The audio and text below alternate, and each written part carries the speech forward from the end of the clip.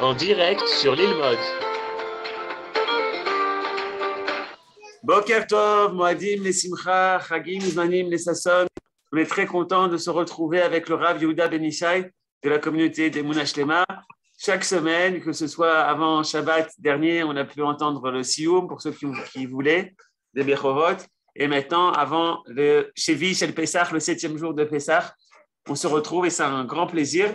On va donc parler aujourd'hui de l'histoire de la Torah. Chag Sameach et Rabbenishai. Shalom, Chag Sameach, et heureux de vous retrouver en cette veille de Shvi'i de Pessah, le dernier jour de Pessah qui va être tout de suite suivi d'ailleurs de Shabbat. Ma'alin Bakodesh Ve'en Moridim, on va passer de Gdushat Yom Tov à Gdusha de Shabbat. Alors, comme euh, ça vient d'être annoncé par euh, Aaron, euh, on va parler de l'histoire de la Torah.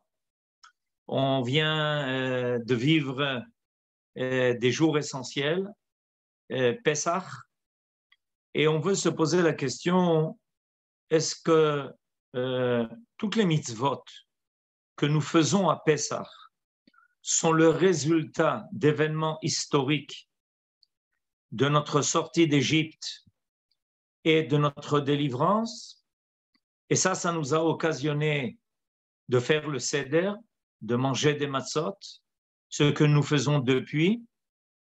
Est-ce que parce que nous avons passé la mer Rouge, alors le septième jour de Pessah va être un jour de Yom Tov, puisque nous avons passé la mer Rouge le septième jour de Pessah? Est-ce que donc les mitzvot, toutes les, habitudes que nous avons à Pessah, qui sont tellement importantes, sont les résultats d'un a posteriori, c'est-à-dire d'événements historiques qui se sont déroulés, de l'histoire que nous avons vécue il y a si longtemps que ça, et euh, à la suite de ces événements-là, euh, le créateur, le créateur du monde et de l'histoire, nous a ordonné un certain nombre de règles qui euh, sont exactement euh, l'ambiance que nous vivons depuis le premier soir de Pessah jusqu'à aujourd'hui qui va se poursuivre aussi ce soir et demain. Ça pose une difficulté de voir les choses de cette façon parce que, a priori, la Torah est une Torah qui est éternelle, qui a précédé la création même du monde et la création de l'histoire de l'homme. Et puis la deuxième grande difficulté, pourquoi est-ce que ces mitzvot que nous accomplissons de façon tellement scrupuleuse, avec euh, tellement de soin, nous accompagne jusqu'à aujourd'hui, puisque ces événements, historiques sont des événements qui sont passés, qui font partie d'une histoire ancienne, de l'histoire que nous avons vécue il y a des milliers d'années. Voilà les deux euh, études qui vont nous préoccuper et auxquelles on va essayer de répondre aujourd'hui pour nous préparer précisément au septième jour de Pessah et clôturer cette fête avec peut-être une autre perspective, parce que cette fête-là de Pessah va nous préparer à toutes les fêtes qui vont venir. Vous savez en effet que selon un enseignement du Shulchan Aruch, on peut trouver une allusion à toutes les fêtes qui vont euh, suivre dans notre calendrier à chacun des jours de Pessah. Il y a là une étude extraordinaire qui vaut qu'on s'y penche en tant que tel et on le fera peut-être par la suite. Donc on, ah, on, a déjà fait cette étude avec vous il y, a, un ou deux ans. On a fait cette étude de chaque jour et on peut la retrouver en, ligne. Merci. Ah, grâce à Aaron qui nous en, qui enregistre tous les cours. Alors, euh, comme, nous le dit, comme il nous le dit maintenant, donc on peut retrouver cette étude. Merci Aaron de cette remarque. Alors, on va essayer de comprendre peut-être un peu plus profondément.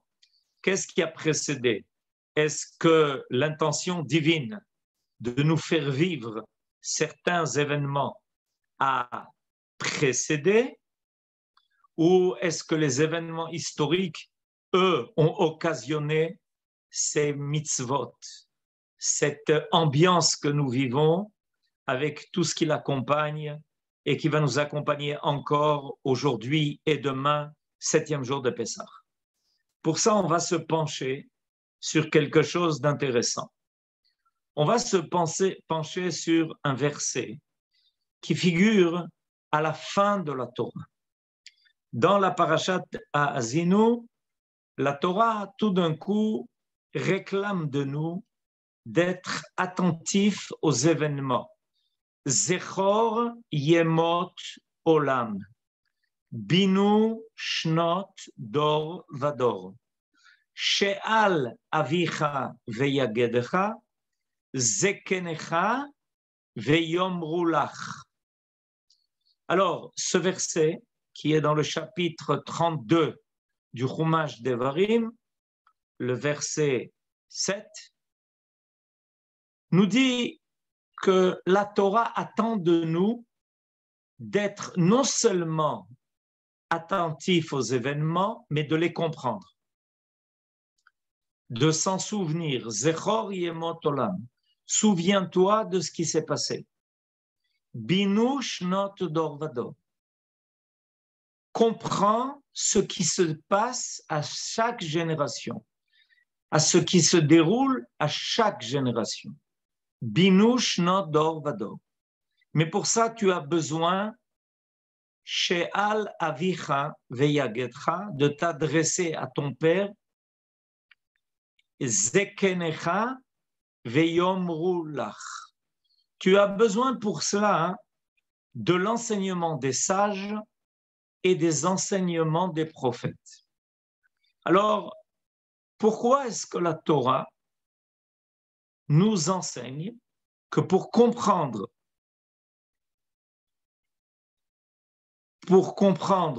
les événements de l'histoire, on a besoin des sages et des prophètes.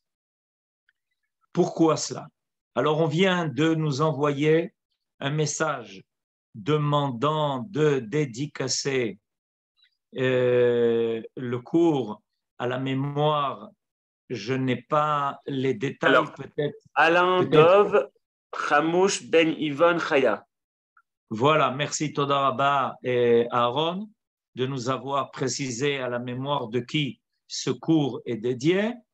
Alors, précisément, on est en train de parler donc des générations passées. Zechor yemotolam, binush dor vador. Pourquoi est-ce qu'on a besoin de, euh, des sages et pourquoi est-ce qu'on a besoin des prophètes Alors, en fait, euh, Dieu écrit deux livres, a écrit deux livres. Il a écrit un livre qui s'appelle la Torah. Ce livre-là, c'est un livre qui réclame une étude.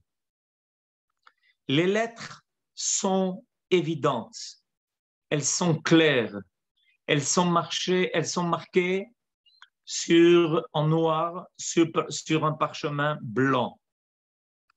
Et euh, quand on lit la Torah, on comprend ce que la Torah nous transmet. Grâce aux enseignements des sages et grâce aux enseignements des prophètes, on comprend ce que la Torah, qui a précédé la création du monde, on comprend ce que la Torah veut nous dire. La Akadosh Baruch n'a pas laissé les choses obscures. Il ne, il ne les a pas laissées troubles il les a fait apparaître de façon claire, comme les lettres marquées, comme je l'ai dit tout à l'heure, de noir sur le blanc du parchemin. Il suffit d'étudier, il suffit de se laisser impressionner par les enseignements des sages et des prophètes pour comprendre le message divin de la Torah. Le deuxième livre écrit par Akadosh Baruch est un livre qui est Yemot Olam, c'est-à-dire l'histoire du monde. Ce livre aussi est un livre qui est divin. Seulement les lettres, les lettres de ce livre-là sont les événements qui vont marquer l'histoire du monde. L'homme pense que ces événements ne sont occasionnés que par les hommes eux-mêmes. Et ils ne savent pas que en réalité, les événements ne sont que les lettres écrites par Dieu sur le livre de l'histoire du monde. Où est-ce que cet enseignement est dit?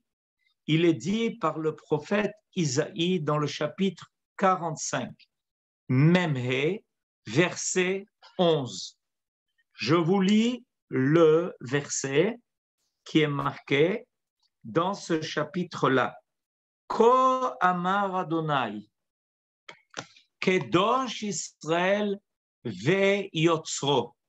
C'est ainsi que s'exprime Dieu, Kedosh Israël, celui qui est à l'origine de la d'Israël et qui l'a créé.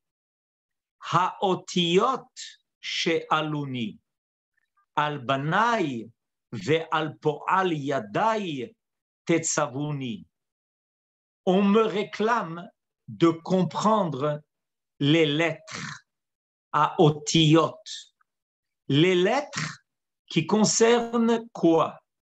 Mes fils,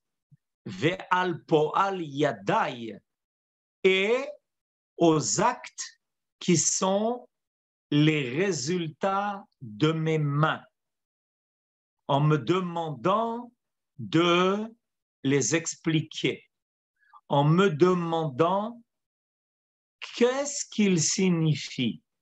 Le prophète Isaïe, ici, comme vous le voyez dans ce verset-là, nous fait savoir que Dieu est interpellé pour comprendre les lettres de son histoire.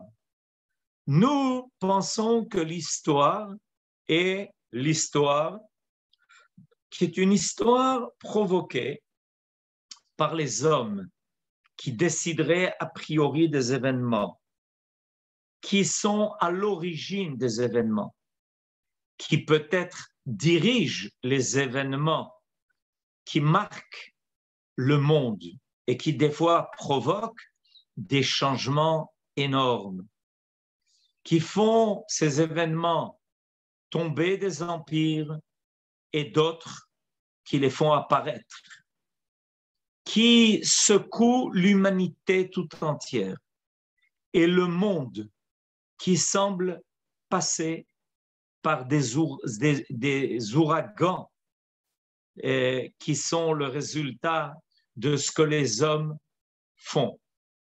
Et là, Kadosh nous révèle que c'est lui qui, en réalité, écrit ces événements dans le livre de l'histoire du monde, Haotiot.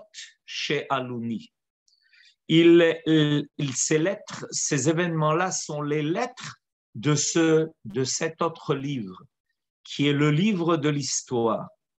Mais on ne comprend la signification de ces événements, de ces événements qui concernent ces enfants, Al-Banaï, Ve Al-Poal Yadai, et qui sont les résultats de ses propres actes, ses propres actes divins, qui sont le résultat de ce qu'il fait, de ses propres mains, en réalité, on ne peut pas les comprendre.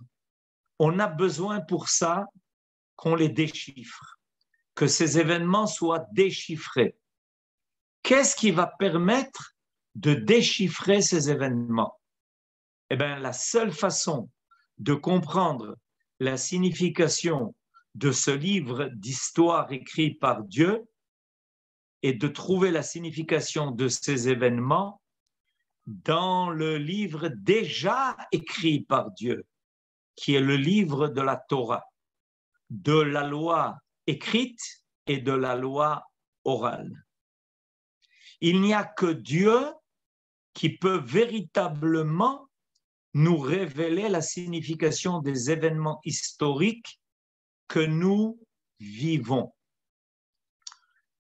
Le livre de la Torah, la Torah, est un, la sagesse divine qui a précédé la création du monde et la création de la nature et l'apparition de la Torah dans le monde créé. Déjà dans la Torah qui a précédé la création du monde et la création de la nature, sont inscrits ces lettres-là, les lettres de l'histoire, de l'histoire qui va se dérouler pendant des siècles jusqu'à l'aboutissement de l'histoire du monde par le projet divin de ce que Dieu a voulu pour son monde à lui. Et si on étudie la Torah et qu'on la comprend grâce aux sages et grâce aux prophètes, on va finir par comprendre aussi ces lettres-là, les lettres du livre de l'histoire de Dieu. On va finir par déchiffrer ces lettres-là. Comme nous dit le prophète que nous avons, le, livre du prophète Ésaïe, selon le verset que nous venons de lire. Et on va en avoir maintenant un petit aperçu. Le premier aperçu que l'on a est à propos de Abraham. Vous savez que la fête de Pessah est profondément liée à Abraham. Pourquoi est-ce que cette fête est tellement profondément liée à notre ancêtre Abraham Parce que Abraham est celui qui a révélé au monde la tribu divine de la bonté. Et c'est pour ça qu'Abraham était tellement, lui aussi, attaché à cette mida.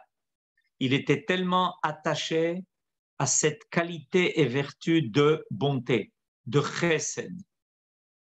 Dieu nous a fait sortir d'Égypte par chesed non pas que nous étions méritants de cette délivrance qui s'est faite de façon tellement extraordinaire par des miracles dont nous avons parlé le soir du Seder et dont nous continuons de parler pendant toute la fête de Pessah.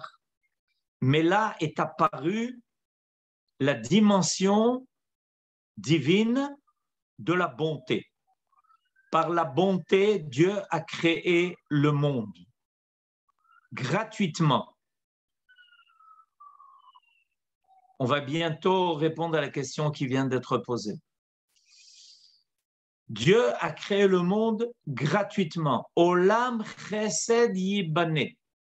Dieu nous a fait sortir d'Égypte et a créé la deuxième phase de la création par la sortie d'Égypte par l'apparition d'un nouveau peuple qui va être le peuple du Chesed, qui va être délivré gratuitement d'Égypte et va faire connaître au monde la bonté divine. C'est Abraham qui a déclenché cette phase de l'histoire du monde. C'est lui qui l'a déclenché en découvrant la bonté divine et en la faisant apparaître sur terre par son comportement. Tout le comportement d'Abraham est un comportement de chesed. Abraham Avinu aime le Créateur et il aime la création et il aime la créature. Et il va agir pour, par chesed pour faire apparaître la bonté divine sur terre qui avait été ignorée pendant 20 générations qui l'ont précédé. Noah en a eu l'expérience en étant sauvé gratuitement dans l'arche que Dieu lui a fait construire pour le préserver de la midatadine. Et Abraham, lui, en a euh, complètement conscience. Il est conscient que l'existence de l'homme sur terre ne se fait que par chesed, que Dieu est bon, tov, et qu'il est métive, et qu'il produit, il prodigue sa bonté. Gratuitement, l'essentiel de l'existence du monde et de l'existence de l'homme n'est que par chesed. Et il décide, il décide d'endosser cette responsabilité, de faire apparaître le chesed dans le monde. Et il déclenche donc cette phase dans l'histoire du monde au bout de 2000 ans de la création du monde. Et qu'est-ce que l'on va trouver dans l'histoire d'Abraham On va trouver dans l'histoire d'Abraham des événements qui concernent Pessah. La première fois où ça nous est enseigné, c'est à propos de euh, l'histoire d'Abraham qui reçoit des euh, invités. Alors, vous l'avez maintenant sous les yeux, le chapitre Yutet 19, verset 3, Vaïftsar bam meod, Vayasuru elav, Vayavo el beto, Vayas laem mishte, Umatzot afa, Vayochelu. Abraham les a suppliés de venir et d'être invités dans sa maison. Finalement, ces trois hommes-là, qui étaient des anges, Vayasuru et Lav, acceptent de détourner leur chemin pour passer par sa tente, par sa maison. Vayavo el Beto. Et ils arrivent chez lui. Vayas Et il leur fait un festin. Umatzot afa. Vayochelu et il leur prépara des matzot et ils mangèrent. Commentaire de Rashi, ou matzot afa, Pesach haya. Je voudrais faire deux remarques à propos de ce Rashi extraordinaire. Tout d'un coup, on nous révèle que Abraham connaît, l'idée des matzot ou matzot afa dans le sens littéral. Abraham a préparé des matzot. Il a fait cuire des matzot. La deuxième remarque, c'est que Rashi nous dit pourquoi est-ce que Abraham a fait des matzot? Parce que c'était Pessah. Alors évidemment, on est tous très étonnés. Abraham fait des matzot parce que c'était Pessah. Mais de quel Pessah s'agit-il? Ces enfants vont sortir d'Égypte 430 ans après. Et on nous parle de Pessah à l'époque de Abraham. L'événement historique de la sortie d'Égypte ne va apparaître que 430 ans plus tard. Et Abraham se conduit déjà comme quelqu'un qui respecte Pessah, puisqu'il ne donne à ses invités que des matzot qu'il avait préparés. Mais je voudrais faire apparaître un point de plus. Il n'est pas marqué Pessah ou Pessah Haya, c'est-à-dire que Abraham ne fait que continuer une tradition. La tradition que ce jour-là où ces invités sont arrivés était un jour qui était connu déjà comme un jour de Pessah. On apprend et on découvre ici quelque chose d'extraordinaire. On apprend que l'idée de Pessah a précédé l'événement historique de la sortie d'Égypte. L'idée de Pessah est une idée qui a précédé l'événement qui va faire apparaître Pessah dans le monde. L'idée de Pessah était déjà inscrite dans le livre d'histoire de Dieu. Puisque la Torah a précédé la création du monde, l'idée de Pessah a précédé l'événement lui-même de la sortie d'Égypte. C'est en sortant d'Égypte que le peuple d'Israël permet de déchiffrer l'idée de Pessah.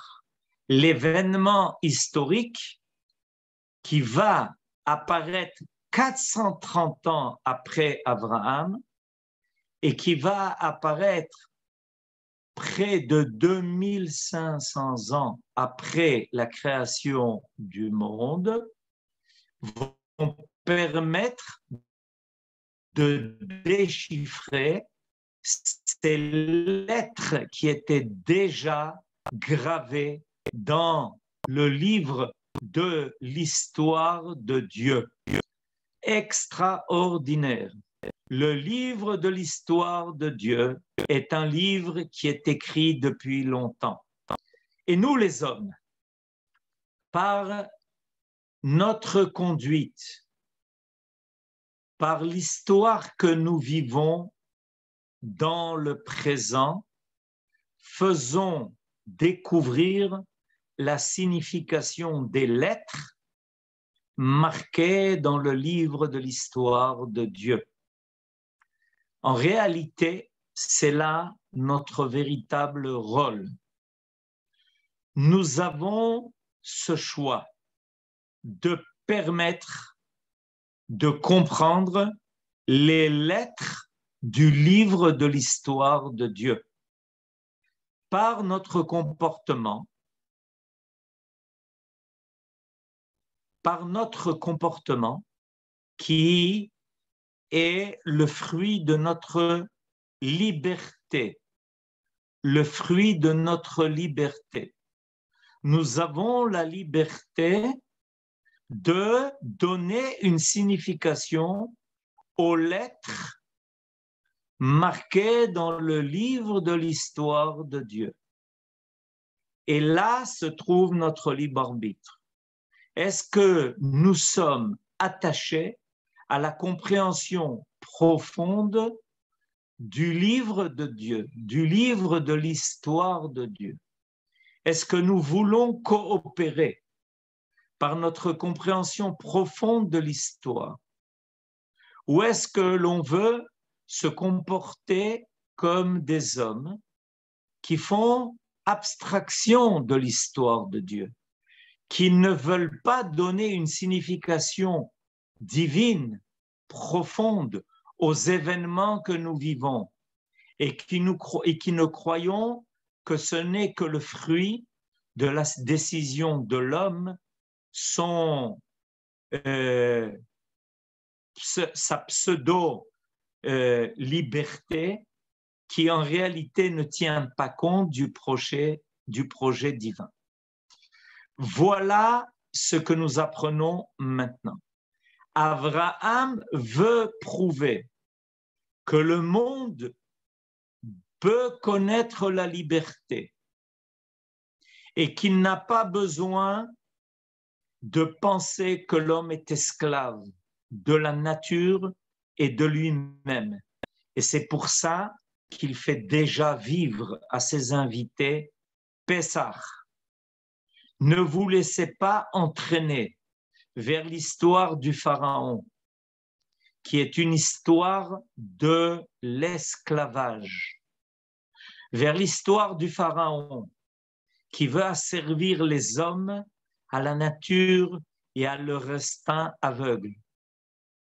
Mais déjà, Abraham, qui a compris que l'histoire du monde est l'histoire de Dieu, leur dit enregistrez déjà cette idée que nous sommes libres et que nous ne serons pas esclaves et que si même mes enfants, ma descendance, un jour sera mis en esclavage par le Pharaon, elle se libérera de Dieu. Elle se libérera, pardon, de l'histoire du Pharaon par l'histoire de Dieu. Le Pharaon a voulu se libérer de Dieu. Mais mes enfants ne se libéreront pas de l'histoire de Dieu. Au contraire, par l'histoire qu'ils vont vivre de la sortie d'Égypte, ils vont se libérer de l'esclavage du Pharaon pour vivre l'histoire de Dieu. Le Pharaon a voulu se libérer de l'histoire de Dieu et mettre tout le monde esclave de sa volonté. Les enfants d'Israël se mettent à la disposition de Dieu pour vivre l'histoire de Dieu et donc vivre la liberté divine qui va annuler l'idée diabolique que le monde tout entier n'est qu'esclave de la nature et de ses instincts. Et je voudrais amener une preuve de plus à cela. Cette idée est une idée révolutionnaire. Il y a un verset qui est le verset de la Keda cette fois-ci, qui se trouve dans le chapitre 22.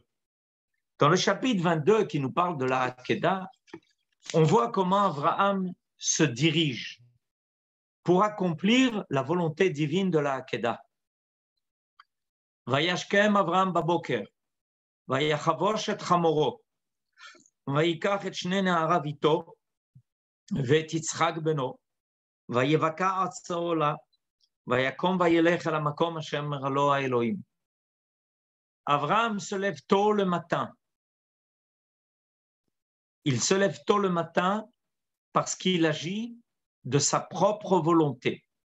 Se lever tôt le matin pour accomplir la volonté de Dieu, c'est dépasser, c'est surmonter la nature qui veut t'endormir, qui veut, qui veut t'enlacer de ses bras, de ne pas te lever de continuer le sommeil. C'est lui qui va dominer l'âne sur lequel il va chevaucher. Et il prend avec lui ses deux euh, euh, serviteurs qui l'accompagnent et son fils Yitzhak. Et c'est lui qui va couper, couper les morceaux de bois qui vont servir au sacrifice. Vayakom. Et il se lève. Vayeler. Et il se met en marche. Elamakom. Vers l'endroit que Dieu lui avait indiqué. Combien de verbes dans ce verset indiquent combien Abraham agit? Vayashkem, Vayachavosh, Vayikach, Vayevaka, Vayakom, Vayelech. Abraham agit, il est libre. Il est libre de tout ce qui essaye de l'entraver. La nature n'est pour lui en aucun cas un obstacle. Et il surmonte toutes les difficultés. Il ne donne à personne à agir à sa place. Et là, nos sages découvrent Pessah. Vayevaka atse ola. Il coupe par lui-même les bois qui vont servir, qui vont servir au sacrifice. Dans le Midrash, dans le Midrash, il y a un enseignement qui est donné et qui dit la chose suivante. Ze Eli ve'anveu, alachat kama vechama, Rabbi Benaya Omer, Rabbi Benaya enseignait, Bisrout Abraham, grâce à Abraham, Ani Bokea Laem Etayam, j'ouvrirai la mer aux enfants d'Israël, Ba'avour Mashéasa, pour, grâce à ce qu'Abraham avait fait, Shenemar Vayevaka Atse Ola, Veomer Vayibakeru Hamaim. Le même mot, le même verbe est employé. Avraham Bakar Atse Ola. Akadosh Baruchu fait Hamaim. Quand ça Ce soir, le septième jour de Pessah à l'aube, la mer va s'ouvrir. Grâce à quoi? Grâce à ce que Abraham avait fait quand il a ouvert, quand il a séparé les deux morceaux de bois qui vont servir au korban de la Hakeda. Quoi? 430 ans, 400 ans auparavant, quatre siècles auparavant, Abraham occasionne l'ouverture de la mer Rouge, mais bien sûr, parce qu'Abraham savait que par ses actes, il était en train de mettre en place l'histoire des faits, en prouvant qu'il surmontait tous les obstacles de la nature, qu'il était prêt à faire apparaître la volonté de Dieu au-dessus des lois de la nature. Viendra le temps où sa descendance, ses propres enfants, vont avoir droit à ce miracle, à ce miracle où les lois de la nature vont être dominées par les lois de l'histoire de Dieu. Le peuple d'Israël a reçu cette mission. Le peuple d'Israël a reçu de faire apparaître dans l'histoire les événements qui vont donner une signification aux lettres de l'histoire de Dieu. Et Abraham, notre ancêtre premier, met en place cette signification. Ce ne sont pas des événements qui sont aveugles. Ces événements ont tous une signification profonde, extraordinaire. Par là, le pharaon va sans être englouti avec toute son armée. Mais surtout, ce qui va être englouti dans les flots de la mer Rouge, c'est son idéologie. C'est de croire que l'homme est dominé par des lois aveugles, les lois de la nature, les lois de sa nature, ces instincts qui sont aveugles et qui vont dicter sa vie, aussi bien individuelle que collective. Abraham a été le premier homme libre à décider qu'il s'alignait sur la volonté de Dieu pour permettre à l'histoire profonde du monde d'apparaître, qui est l'histoire de la liberté de Dieu. Et en faisant ce qu'il a fait à la Hakeda, il trace déjà le chemin que ses enfants vont emprunter. Et quand ils se retrouvent dans la mer et qu'ils ne vont pas hésiter à faire les premiers pas, ils vont tout d'un coup faire apparaître ce peuple qui est libre et qui ne se laissera jamais dominer par la domination de la nature et la domination des hommes. Le pharaon et toute son idéologie vont se retrouver engloutis dans ces flots-là qui obéissent à la volonté de Dieu et non plus aux lois aveugles de la nature. Et le peuple d'Israël qui va sortir de l'autre côté va faire apparaître cette liberté.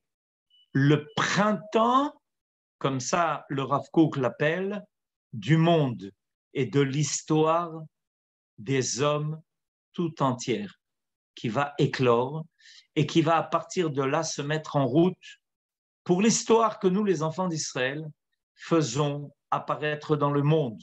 Une histoire qui n'est pas l'histoire des hommes, mais qui passe par les hommes. Elle est l'histoire de Dieu qui passe par l'histoire des hommes.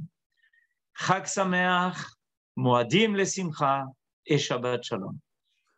Todaraba, merci beaucoup Avanisha. Est-ce que vous avez encore une minute pour euh, peut-être, euh, par rapport à la question de Nelly, je crois, qui disait alors, est-ce que les musulmans, tout est écrit et l'homme n'est pas libre? Est-ce que vous avez parlé de ce point? Évidemment, j'ai parlé de ce point. Pour les événements, tout est écrit. Pour les musulmans, tout est écrit. Et les hommes n'ont rien à faire, si ce n'est subir des événements aveugles écrits. Alors que le peuple d'Israël est le peuple de l'action par excellence qui se met à déchiffrer les lettres de l'histoire de Dieu et qui va les réaliser dans sa propre histoire de façon idéale en comprenant la signification de ces événements par la Torah et les prophéties. Chazako Baruch, merci beaucoup Rabbanisha et Mazal Tov, puisque vous êtes euh, Sandak. Et Besserot à tous. On finit avec un minag, un minag de dire ce soir à minuit, de dire Shiratayam. On va écouter l'enregistrement du Rav Yaakov Ariel de Ramadgan avec un igoud spécial du Rav Harlap. C'est ce que vous allez écouter maintenant et que certains vont faire également ce soir à minuit à Khatsot, euh, cette mine de minag de dire justement Shiratayam, comme l'a rappelé euh, le Rav Benishad, puisque c'est ce soir qu'on traverse la mer des joncs. Kriyat Yamsouf. Bechavod et Shabbat Shalom à tous et Chag Sameach. Les